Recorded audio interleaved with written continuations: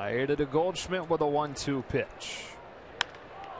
Right back at Kenta, knocks it down and throws him out.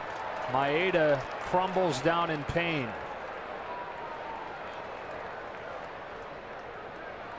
And he grabs that right shin.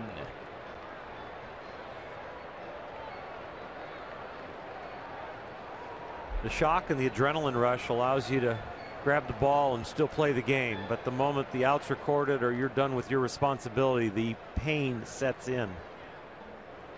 Was hit in the hand by a line drive a few starts ago in New York. This one gets him in the lower leg. JP Howell has already come out of the diamond for the Dodgers to take over for Maeda.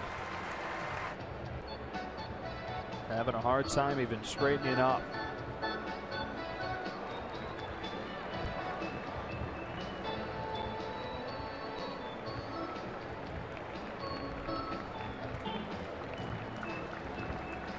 And in tears, with the help of Turner Ward, Nathan Lucero limps his way off the diamond.